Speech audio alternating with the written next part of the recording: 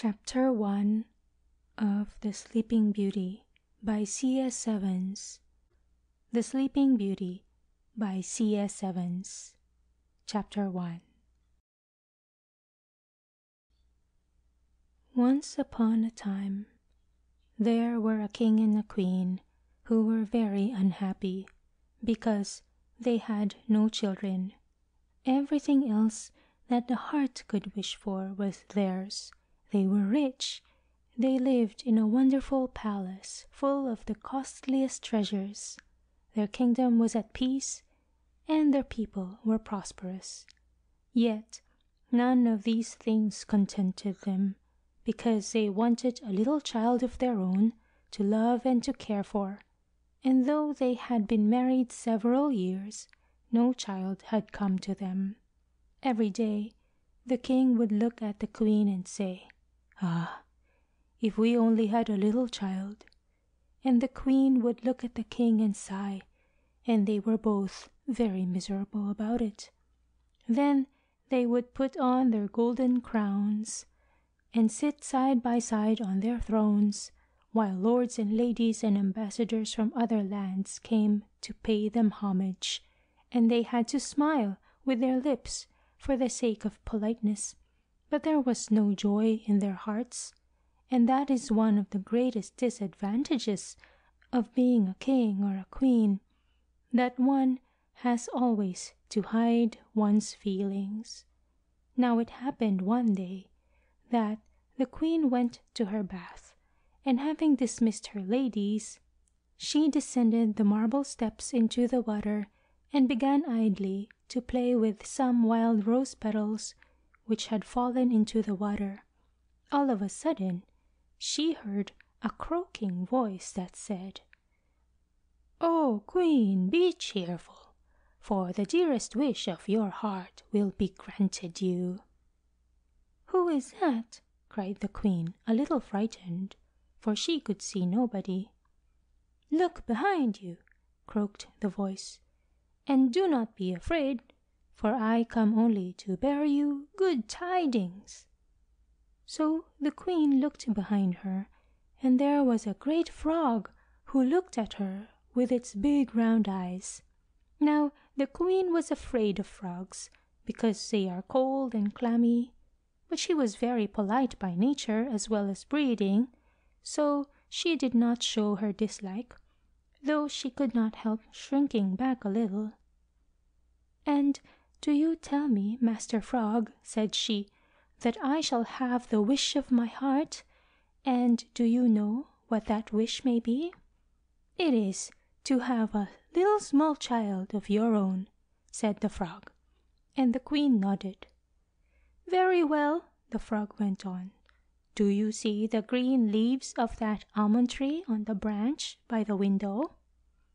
"I do," replied the Queen wonderingly. "Those green leaves will fade," said the frog, "and the winter winds will blow them away. Then the branch will be bare, but in springtime, before the leaves come again, it will be covered with pink blossom, and that blossom you shall show to a baby lying at your breast." The Queen gave a cry of joy. A ray of sunlight came through the trees, dazzling her eyes so that she had to close them for a moment. When she opened them again, the frog had gone, and nothing was to be seen but the dainty rose petals floating on the surface of the water. End of chapter 1 Chapter 2 of The Sleeping Beauty by C.S. Evans. Chapter 2 Those were wonderful tidings to be spoken by a frog, who came no one knew whence, and went no one knew whither. But the Queen believed that the prophecy would prove true, and she was right. For when the springtime came again, and the almond blossom was pink upon the bough, she gave birth to a little daughter who was so beautiful that nobody had ever seen her like. Now what joy there was in the hearts of everybody in the palace! The king was so excited that he went into council in his dressing gown instead of his royal robe, and he did not care a bit when his courtiers smiled. There was coming and going in all the halls and corridors. Couriers on swift horses were sent out to bear the glad news to the most distant parts of the kingdom. All the bells in the churches were rung, flags were put out in the houses, and streamers were hung across the roadways. Then the cannons were fired, bang, bang, bang, to tell the people that everybody was to have a holiday, so that all, from the highest to the lowest, might rejoice in their queen's happiness.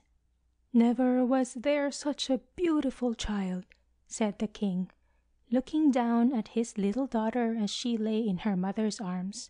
He wanted very much to nurse her, but this could not be allowed because men are so clumsy with babies.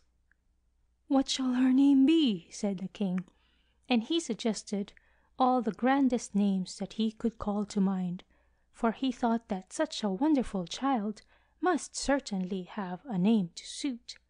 But the queen would have none of them. She shall be called Briar Rose, said the queen, and so it was arranged. A few weeks later the christening took place. That was a splendid ceremony to be sure, for all the lords and ladies of the kingdom were present in their richest dresses, together with princes and ambassadors from distant countries. The little princess was as good as gold all the time.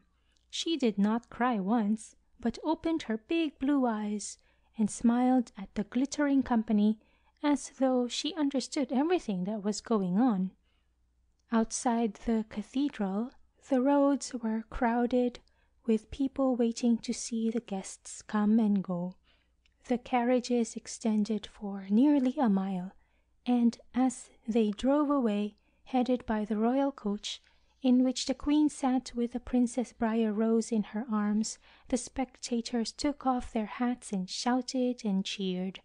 Some of the little boys perched themselves on the branches of trees and the lamp posts in order to get a better view, and I have been told that there was one poor woman who saw nothing at all because her boy tried to climb up to an inn sign, where he dangled in such a dangerous position that his poor old mother had to stand with her back to the procession, holding on to his legs in a terrible state of anxiety lest he should fall. At the palace a magnificent feast had been prepared. Now it was the custom in those days when a king's child was christened for all the fairies in the country to be invited to the christening feast. Each fairy was bound to bring a gift, so of course it stood to reason that the royal. We hope you enjoyed this preview. To continue listening to this audiobook on Google Play Books, use the link in the video description.